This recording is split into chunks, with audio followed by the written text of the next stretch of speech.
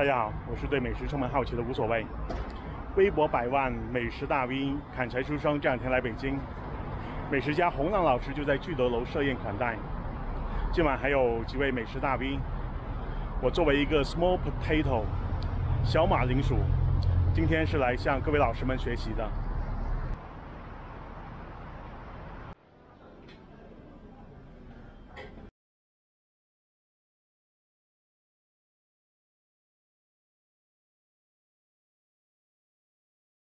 这个叫孙尼俄芬白糕，孙尼俄芬在满语里面是奶的意思，奶制品，所以这个白糕呢是用奶和面做的这么一个糕，这里面是没有馅儿的，就是里面带淡淡的奶味儿。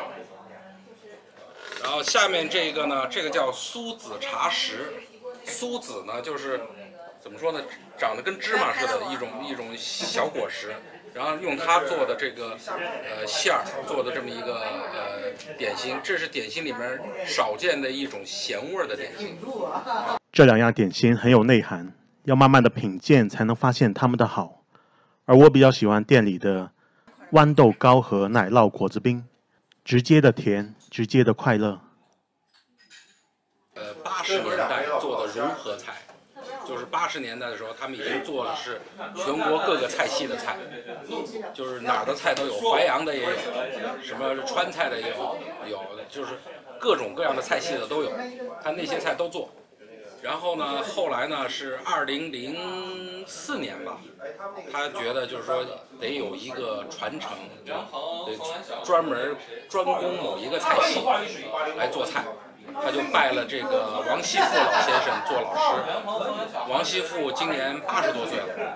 我看我看那个介绍，我们给我介绍。对，然后那个甄师傅拜他为师以后呢，王王老爷子呢对他的要求就是说，因为王老爷子的心愿就是他把那个满汉全席给做出来。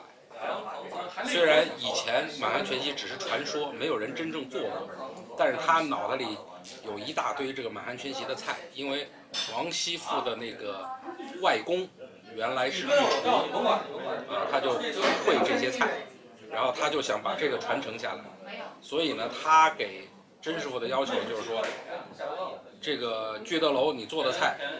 都得是这个满汉全席的菜，呃，那个如果是康乐的老菜就不许做，啊，所以他康乐那些老菜呢，我们就偷偷的跟他点，说我们想吃这个，我们想吃那个，然后他就帮我们做。然后那个比如说今天我点的那个菜里面有一个桃花饭，其实就是虾仁锅巴，啊，虾仁锅巴这道菜呢。有人说是鲁菜，有人说是那个川菜。他他这个菜呢就不是满汉全席的菜，所以这个我点了。还有一个是叫过桥面，过桥面呢就是过桥米线，它用不同的一种方法来做，做的过桥面啊，可以试一下。还有一个那个呃锅塌三鲜菜盒，那个菜呢就是。做法有点类似于南煎丸子，就是南煎丸子，就是把丸子做好了以后拍扁，拍拍拍好了以后一个大翻勺，然后再做出来那个菜。这个呢有点类似于那个菜，它是外面是那个肉馅，外面是裹了一层白菜叶子，然后做的这个菜盒。这这这道菜呢也不是这个满汉全席的菜，啊，反正这些菜我都点了。包括那个就是菜都有故事的啊，肥肠系列，肥肥肠系列，今天点了三个菜，两道炒菜，一道是那个炒肝炒肝也有肥肠啊。对。早上我还吃了吃了吃了炒肝。嗯。炒肝现在北京做的好的很少，甄师傅这边做的炒肝，他一直是严格遵循以前老的方法做的，就是一个底汤一定得用口蘑汤。口蘑汤，口蘑汤，但是现在已经很多人很多地方都不用了，就是白开水，谁给你熬口蘑呀？熬熬出汤来？对，一般早餐店的话，没没不会不会那么用心的。对。他还是坚持用口蘑汤，然后呢，就是里面的蒜呢要放两次，一次是熟蒜，就是在里面熬的那个熟蒜，要是熟蒜，哎，那个就是。给它那个底味儿。还有呢，就是最后出来的时候要撒一把生蒜，啊，就是这两种蒜。现在好多呢都是都是直接就扔一把蒜就完了。这个叫熏鱼儿，它实际上是那个猪猪脸肉，嗯，啊，然后它跟黄鱼一起熏的，熏制的，所以叫熏鱼儿。站着也补光了，来点水，我先吃。不补光吗？啊，然后温博温博是北方的嘛，南齐是南方的嫡亲嘛，啊，所以这是南北结合的一道菜，自己用那个猪蹄儿熬的，不是用明胶。这就是我最爱的奶酪果子冰。大家去富华斋，如果运气好的话，还可以吃到王熙富老爷子出的夏日限定西瓜酪。尝一尝这个马莲肉，号称是马莲草扎的这个肉，这个是猪肉吧？对，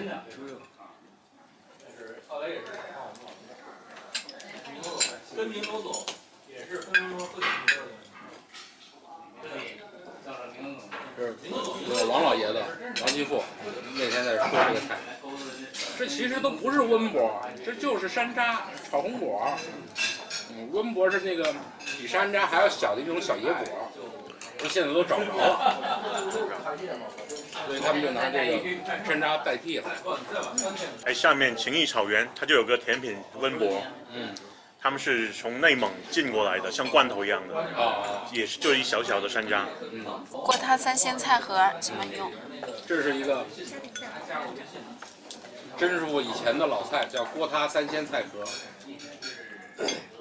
做法有点像南煎丸子。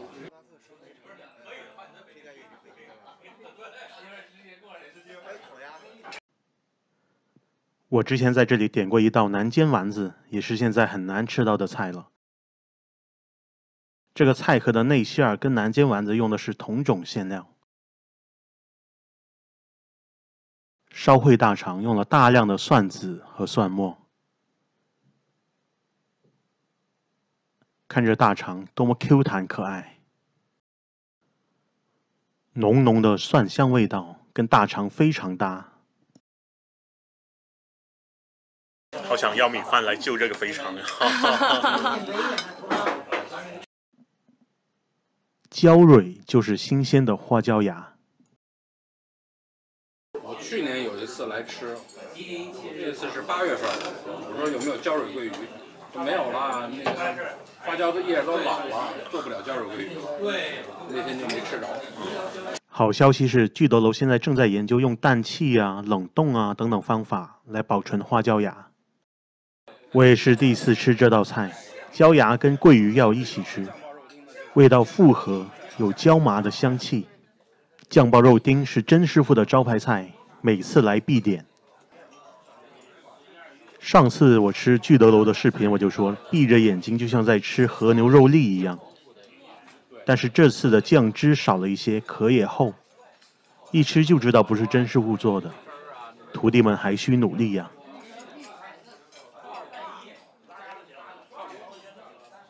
焦溜肥肠做的太漂亮了，砍柴书生当时拍了照片发微博，问这是什么，没有人答得出来。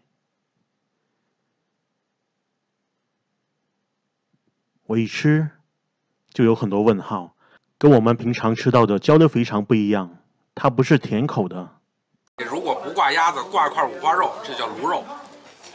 然后把这个卤肉烤出来了以后，然后再拿锅子来烧。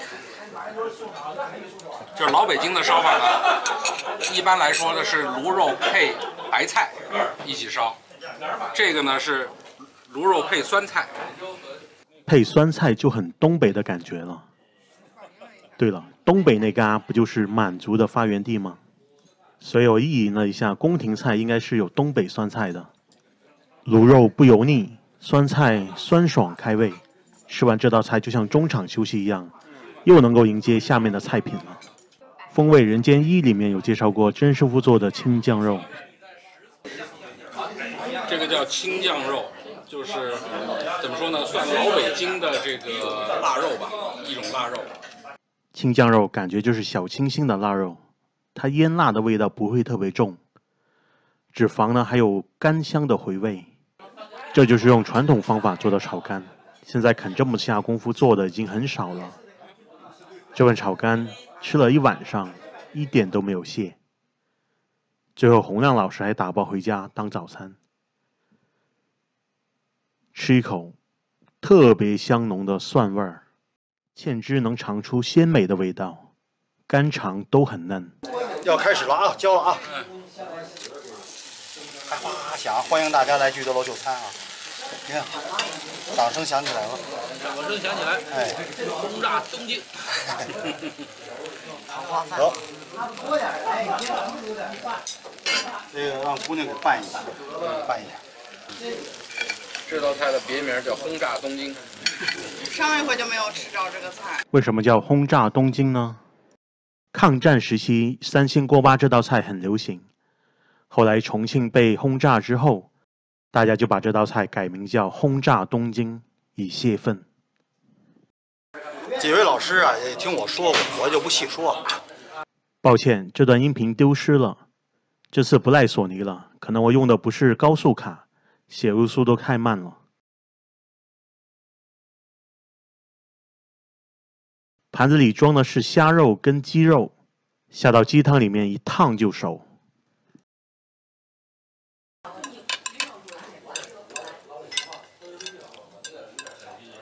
鸡汤很浓，鸡汤好鸡汤，对，非常浓。这个等于是一斤料出一斤汤啊，一斤料出一斤汤这还说少呢。完了，咱们吊一锅汤得十个多小时，八个小时煮汤，完了两个小时臊汤。臊汤您还有就这么说吧，您臊汤还有还有二十斤鸡胸呢，您五十斤这个汤还二十斤鸡胸才能给臊清了。这个全蛋和面。得嘞，全蛋面，全蛋面，回去咱们照着这个说，我说这配方没毛病啊。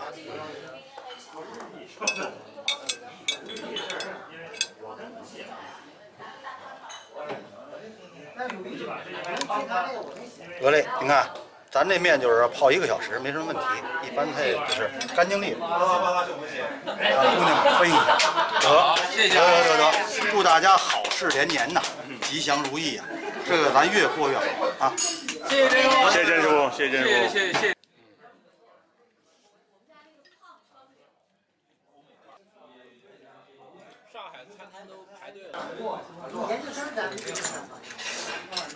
面条爽滑，鸡汤味道鲜浓，这道也是康乐餐馆的老菜，现在外面已经看不到了。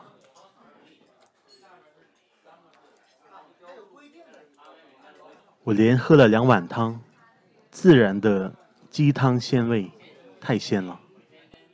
最后甜品是浑汤汤圆，也很少见。每次在聚德楼吃饭都好长见识啊！甄师傅坚守传统的匠人精神，令人钦佩。每次跟大 V 们吃饭都获益良多。我是无所谓，一个要减肥的吃货。如果你喜欢我的视频，欢迎点赞、评论、转发，谢谢大家。